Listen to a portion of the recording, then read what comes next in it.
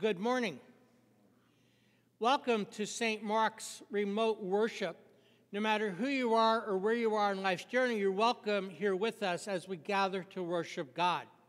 St. Mark's United Church of Christ is located in New Albany, Indiana, and we welcome everybody who is with us today. We do have several announcements. First, the flowers on the altar are giving in loving memory of Alice Krosky and remembrance of her birthday February 9th by her family. And today's worship guide is sponsored by David Cox in loving memory of his mother, Martha Cox, uh, in remembrance of her birthday, February 13th. And a special donation has been made to the Organ Fund by Colleen Berryman in honor of her aunt, Margie Shiftar, in celebration of her 99th birthday on February 16th, and in honor of her granddaughter, Leah Parton, in celebration of her ninth birthday, which is also February 16th. Anybody who is interested, um, we do a Bible study. It's the Disciple Bible Study, um, and we're actually beginning a new section on St. Paul uh, tomorrow evening. Um, this we do meet every Monday night from 7 to 8:30, and um, being honest, there's a decent amount of reading that goes into this each week. But if you're interested in being part of this, um, please let me know as soon as possible, and I can give you um, what we are reading for tomorrow evening or what, what's going to be coming up soon. But we are starting the section on St. Paul starting tomorrow evening. This morning, instead of Emily Essex here, we have Caroline Essex, her daughter, and she, so we're grateful to have her joining with us this morning as part of our worship team. Let us come together and prepare ourselves to worship with our morning prelude, You Satisfy the Hungry Heart, played by Sarah Cordolillo.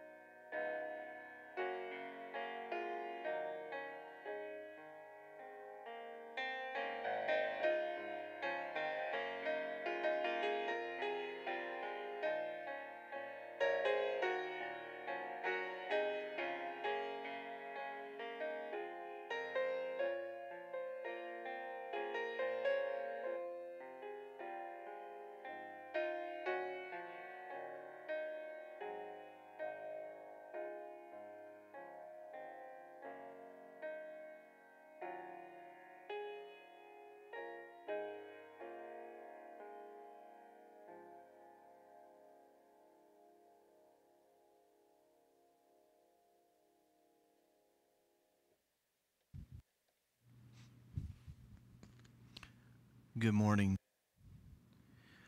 We gather to meet you, O God, to be aware of your presence in our day. For you, Lord, are here now. Your Spirit dwells within us to bring you our worship. We come and offer you praise to be conscious that you walk with us beside us, we do not make the journey alone. O God, draw near to us as we draw near to you.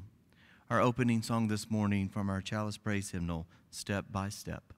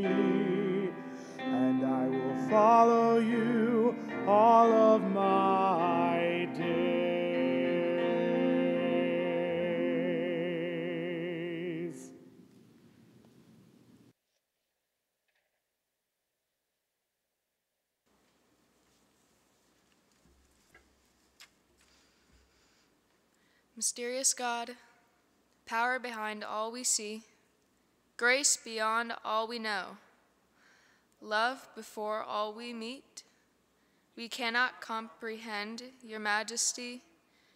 We only know your presence in our lives. You, who knew us before we were born, you, who will cradle us after our last breath we cannot encompass your glory. Instead, we marvel at all the works your hand has made, and we worship and adore you. Pour mercy into our hearts and souls, giving us eyes to see and ears to hear. Your gift in every person, every place, every moment for your greatness is seen in all the world. May our words and actions be our praise of you, reaching up and out into your realm, made it real for us in the person of Jesus. Amen.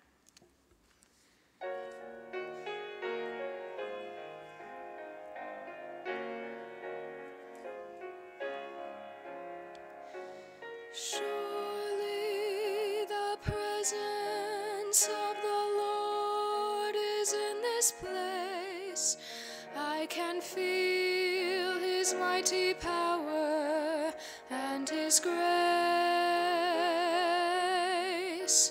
I can hear the brush of angels' wings.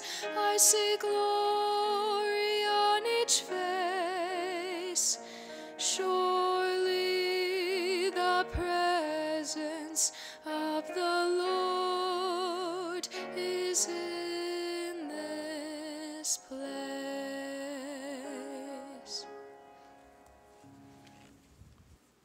At this time, I would like to invite all the little ones to gather around your devices at home for our children's time and for the adults to join us as well.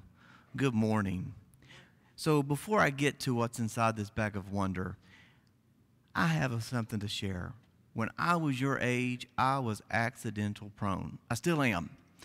Anytime I'd walk outside, I would stumble and scrape up my knee, or I'd bump my bru- and bruise myself. I'd climb trees and fall out of them. I'd be riding my bicycle and hit a pothole, and over the bars I went. I was always getting scraped up. But you know, whenever I did get hurt, I would go back to my mom and my dad, and they would take care of me with a first aid kit with a little bit of band aid and some neosporin. And mom sometimes put some orange stuff on it, and it burned a little bit. But it always made me feel better made me heal.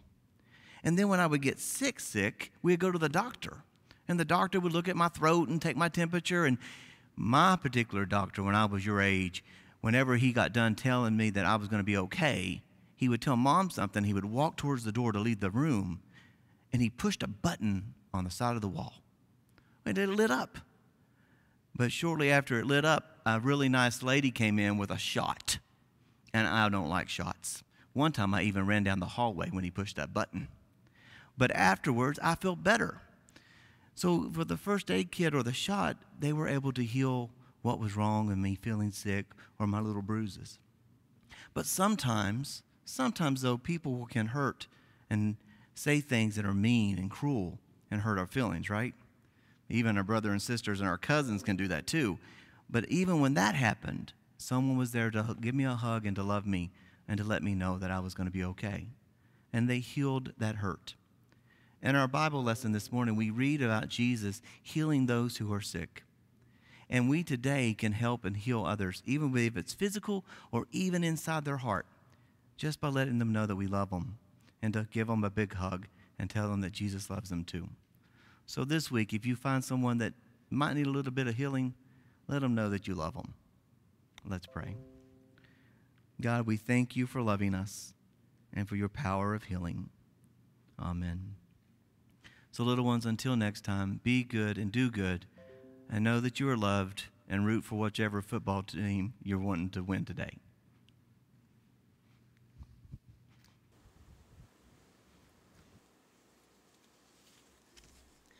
The scripture reading today is Mark chapter 1, verses 29 through 39. As soon as Jesus left the place meeting with James and John, they went home with Simon and Andrew. When they got there, Jesus was told that Simon's mother in law was sick in bed with fever. Jesus went to her. He took hold of her hand and helped her up. The fever left her, and she served them a meal. That evening, after sunset, all who were sick or had demons in them were brought to Jesus.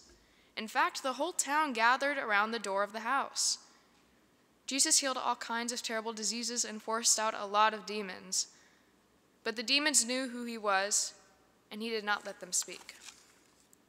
Very early the next morning, Jesus got up and went to a place where he could be alone and pray. Simon and the others started looking for him. And when they found him, they said, Everyone is looking for you. Jesus said, We must go to the nearby towns so that I can tell the good news to those people. This is why I have come. Then Jesus went to Jewish meeting places everywhere in Galilee where he preached and forced out demons.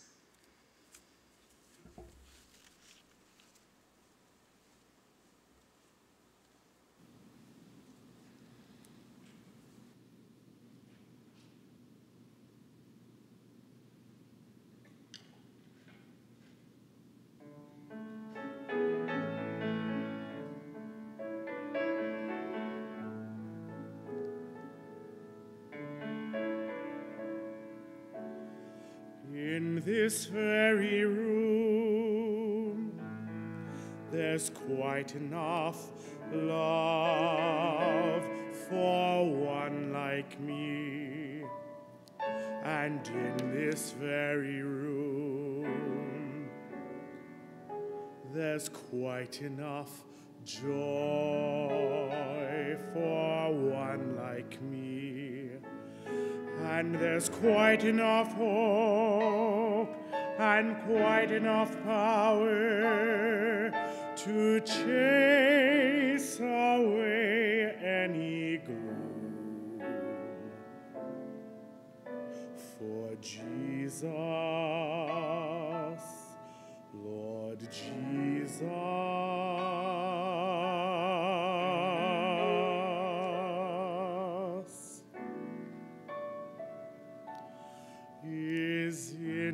This very room.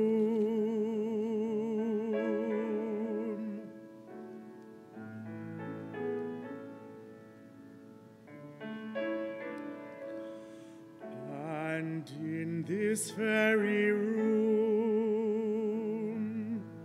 there's quite enough love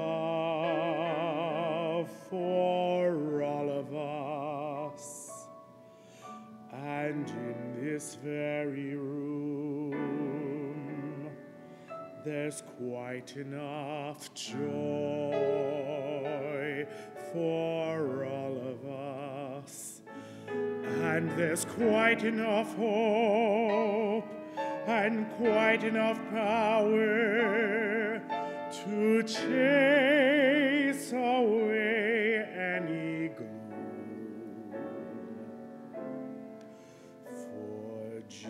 Jesus, Lord Jesus,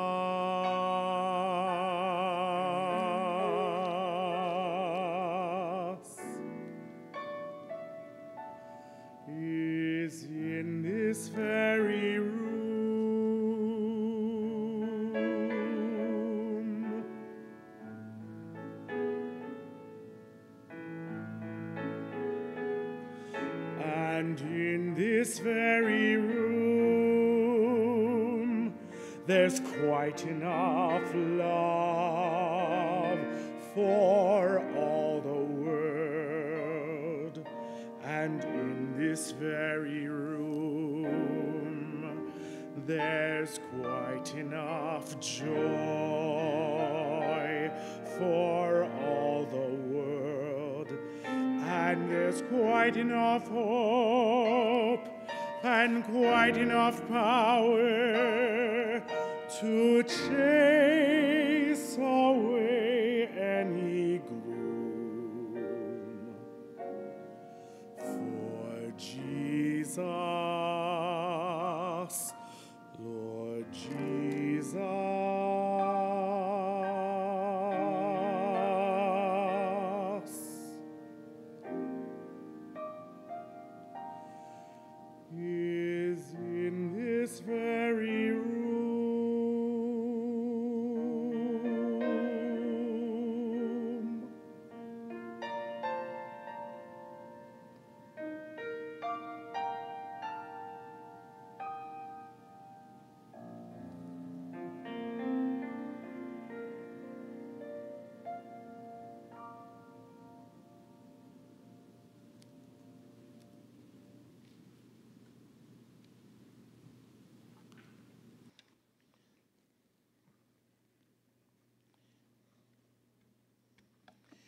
Let us pray.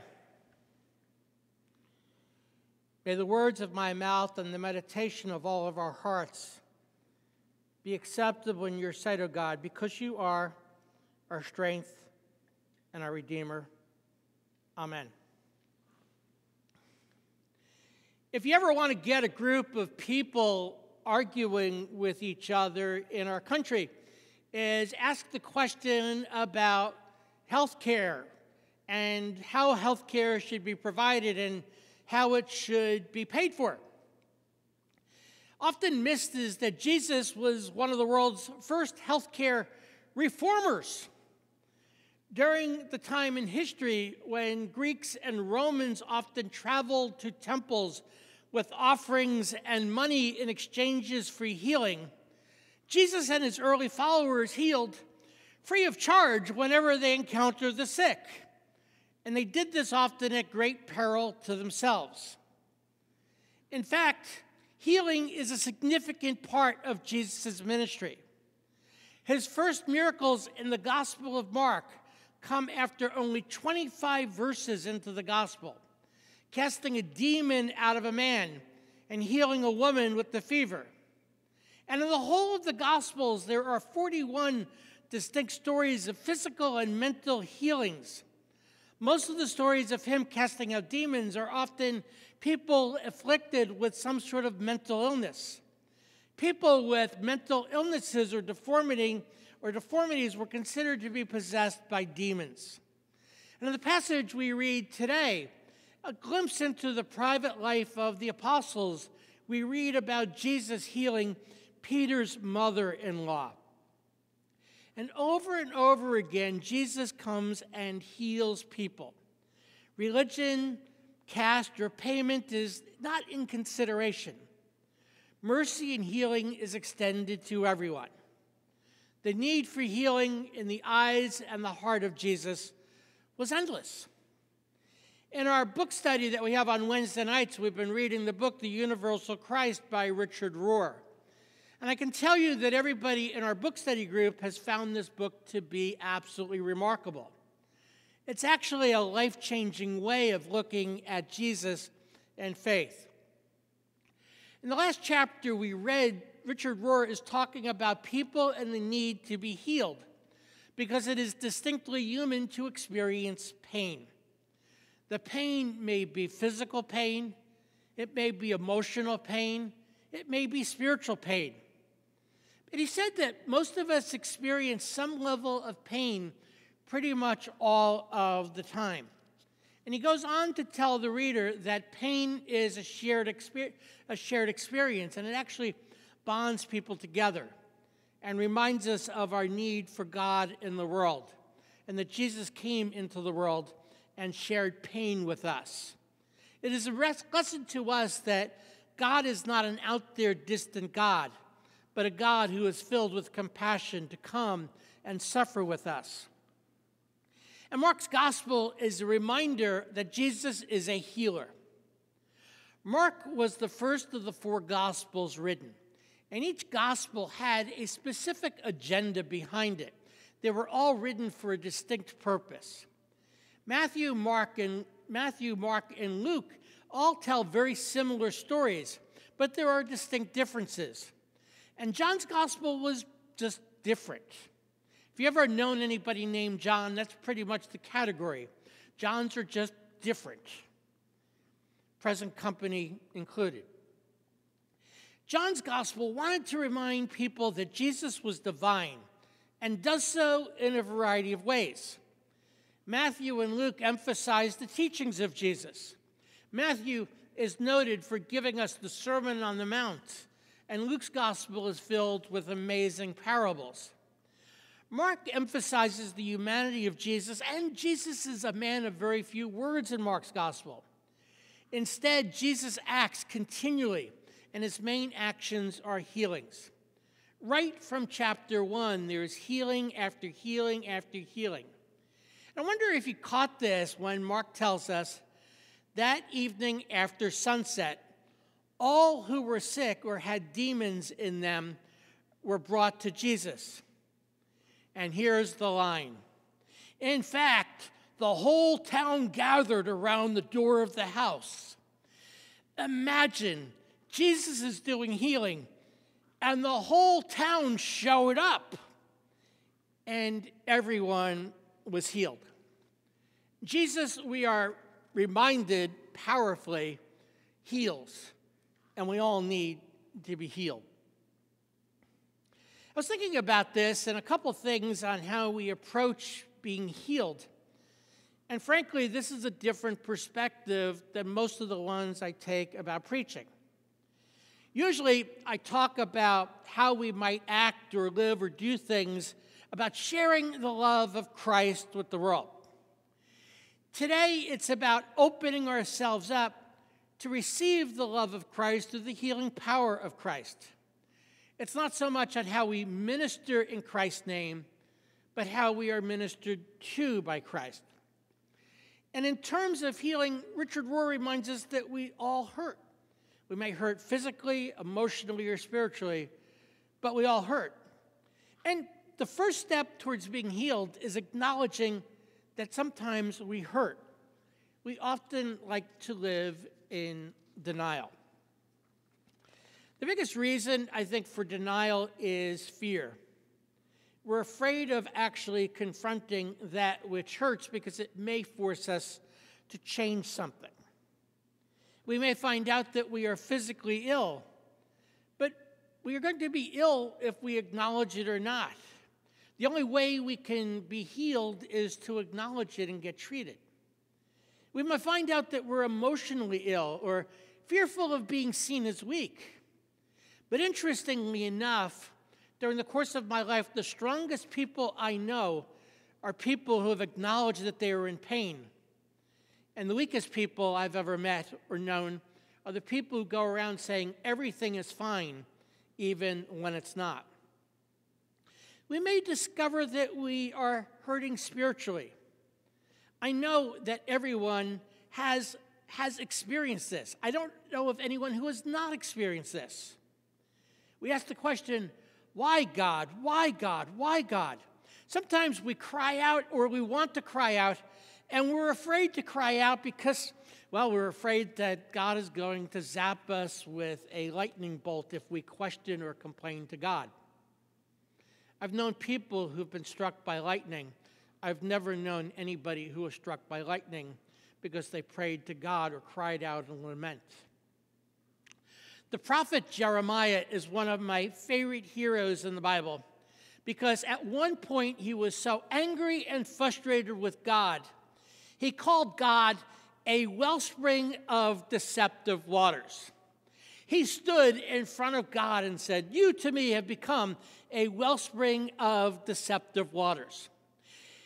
This is a brilliant and clever way of saying, You know, God, you've lied to me. And there was no lightning bolt. And God answers simply If you come back, I will take you back.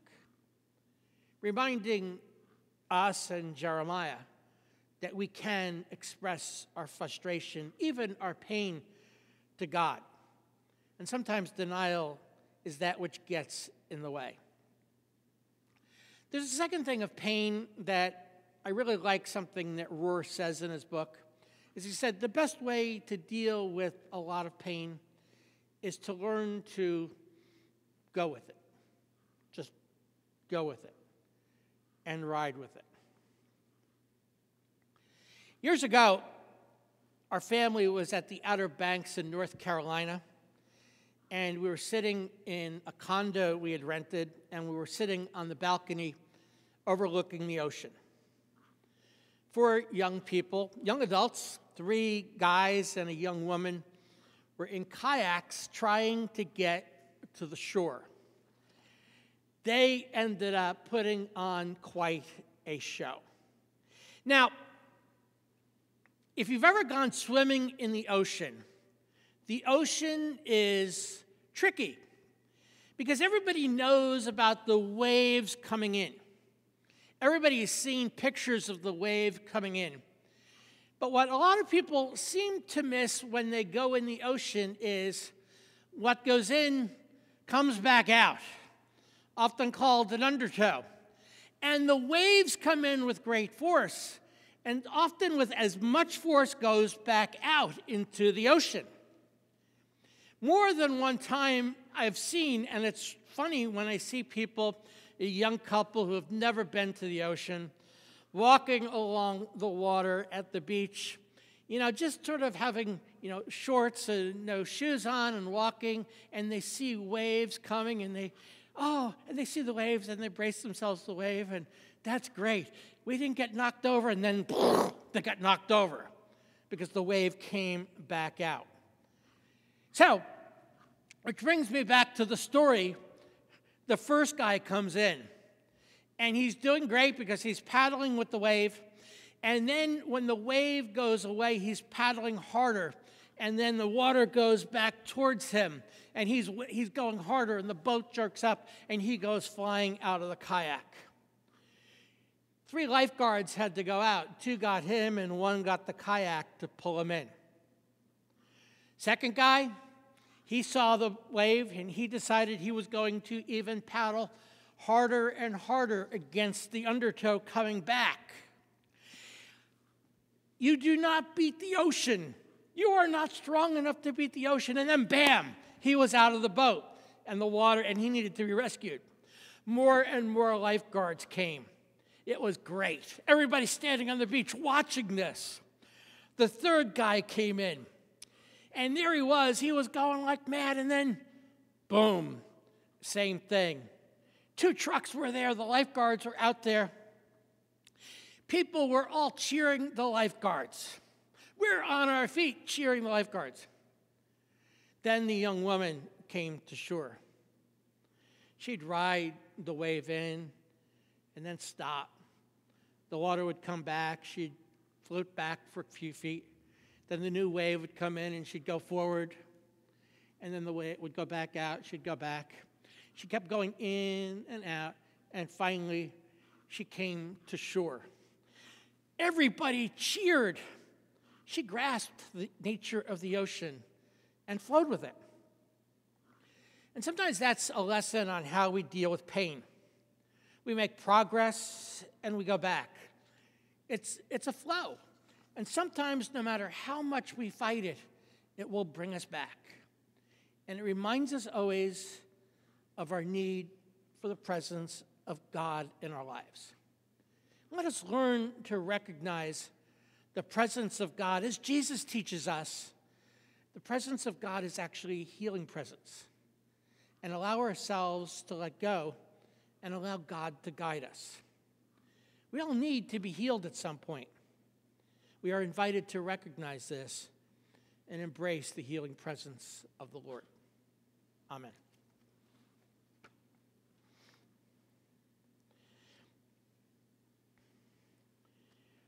As we gather to pray, there are a lot of people we'd um, like to pray for. Um, we continue to pray for all the people with COVID. Um, the good news is that the uh, number of people getting sick has been going down dramatically. Um, the, hard, the difficult news is the number of deaths has been going up. Um, so we're hoping as the numbers of people um, getting sick go down, so do the numbers of deaths. Um, we continue to pray for David Cox, Arthur Allemacher, Francesca Kemper's brother, Alan Bowling, Wendy Swisher's mother, um, Dorothy Shipley. We continue to pray for George Streckfus, who is being uh, go, going into rehab. Um, we have we continue, we pray for Eileen O'Bannon, who is the great granddaughter's mother, who is the mother of um, Carolyn's great granddaughter. Um, we we have friends in California, and we ask for the, we ask we are asked to pray for Skylar and PJ uh, Scott um, and her parents Erica Scott, and those people are um, dealing with COVID, and they were from Ellen and Stephen Scott. We ask that we hold sister and brother-in-law in prayers. Harvey has been out of our prayer list for several several weeks, and Sandy Boofter has given that. Um, we pray for Angela Robinson and family in Springfield, Kentucky. Uh, she is a former student of Mark. Um, we pray for Dana Wright's friend, uh, Mabel Landon, and Daniel, um, who, ha- who couldn't breathe because he had to go to the hospital with COVID, um, and Patty Goodwin, who is the sister in law of a good friend of mine who is dealing with heart issues. Let us pray. Most Holy God, as we gather to pray for you, pray today, remember all of these people in our prayers. We recognize that they all need to be healed, but we recognize also that all of us deal with certain things that require us to be healed. We pray that you might allow, we might allow your healing presence to be upon us, to guide us, help us, and support us when we are afflicted with all need. And enable us always to remember to pray for ourselves as well as others. So many people ask us to pray. We pray for the people whose names we remember. We pray for the people whose names we don't remember, but we offer our prayers because you know who they are. We pray for the people who we are often blind to and do not even notice or do not want to acknowledge. And we pray for ourselves for all those spots within us, those difficult, painful spots within us that we are sometimes too scared to confront and deal with. We pray that your healing hand be upon us and all your people. We pray now in the silence of our hearts for all of those people near and dear to us.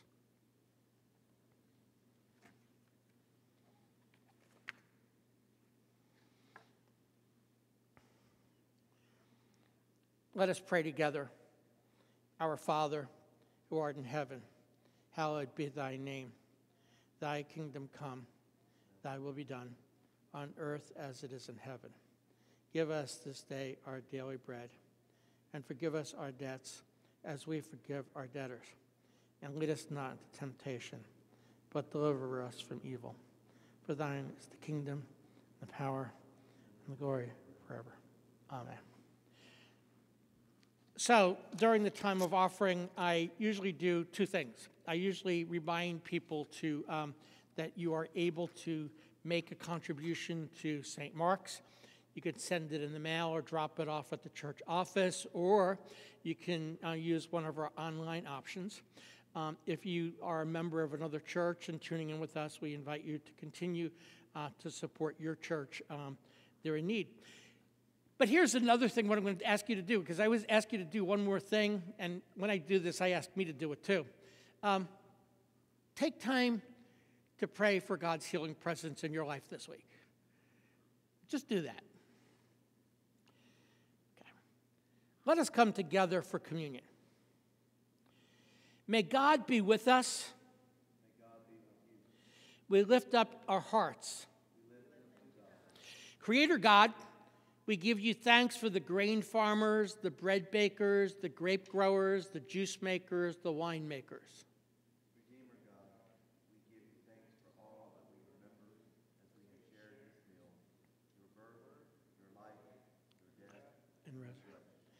Sustaining God, we give you thanks for the eternal presence of your Spirit with us, surrounding us and filling us with divine life.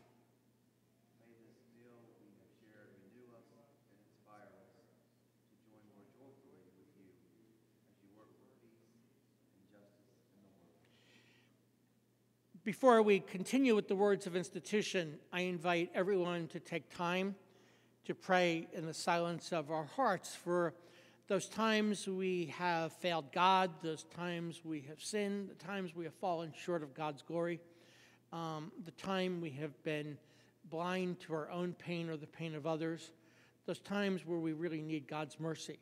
Let us take time to pray to God for forgiveness in the silence of our hearts.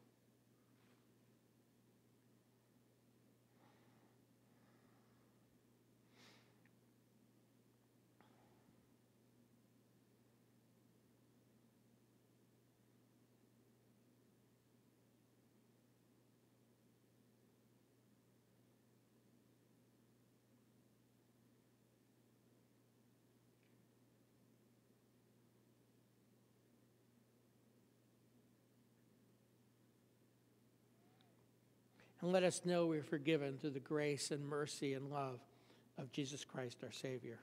Amen. We're reminded that on the night that Jesus was betrayed, before Judas betrayed him, Jesus took bread and shared it with those around him and broke the bread and said to them, Take this and eat, for this is my body which is broken for you.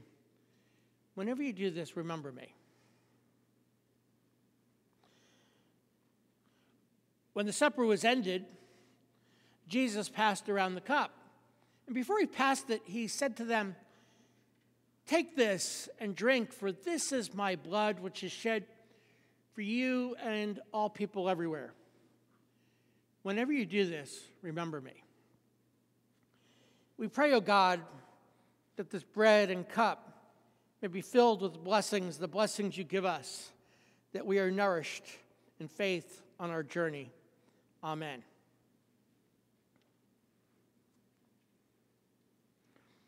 Take and eat, for this is the body of Christ which is broken for us.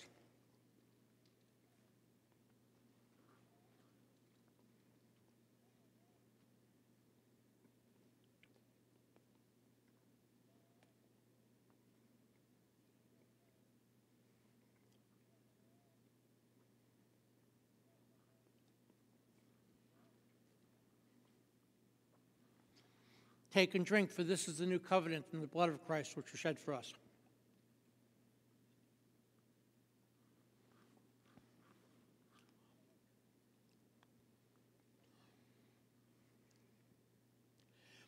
Let us pray together.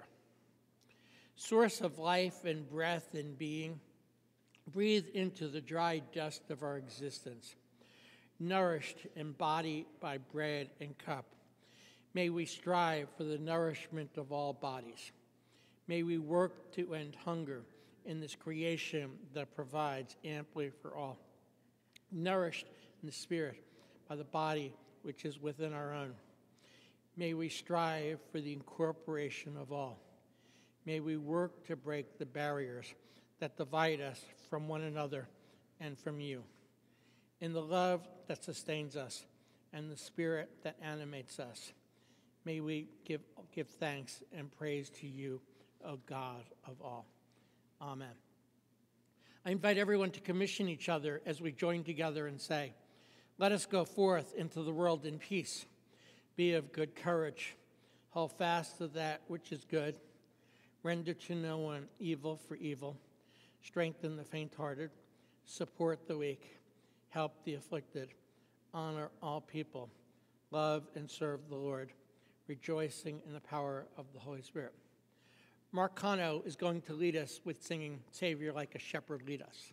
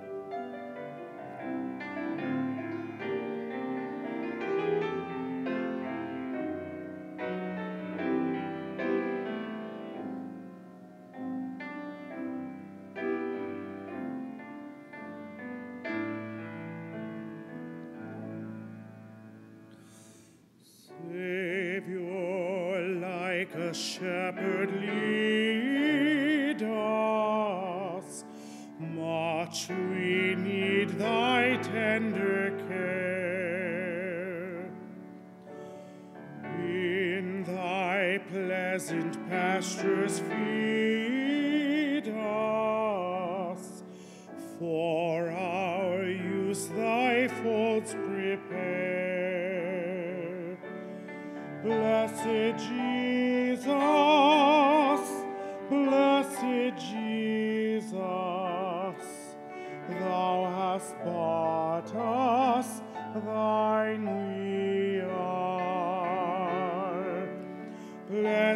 Jesus,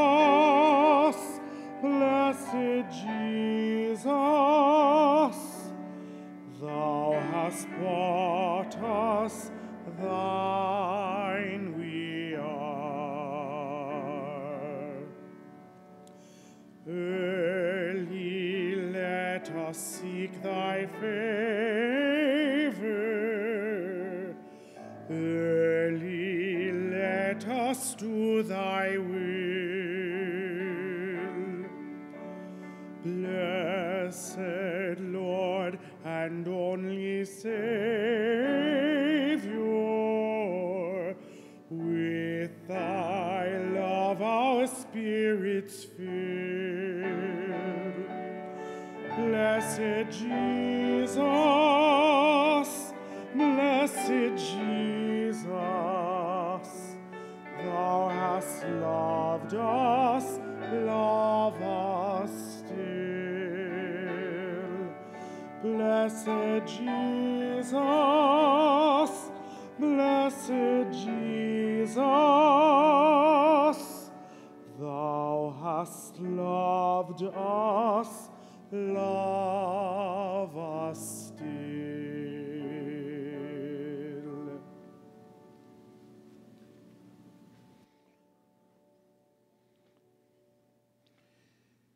Let us go forth with God's blessing to embrace the healing power of Christ. Amen.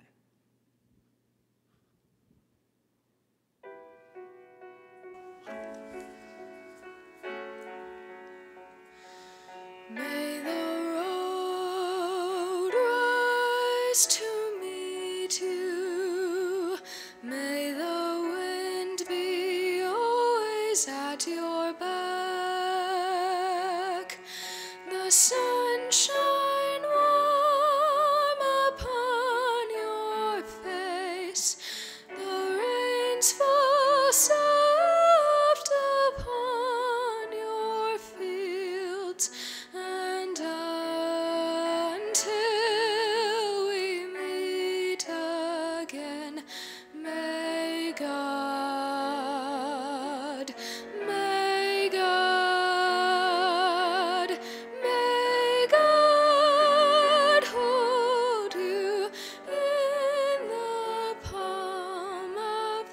Jesus.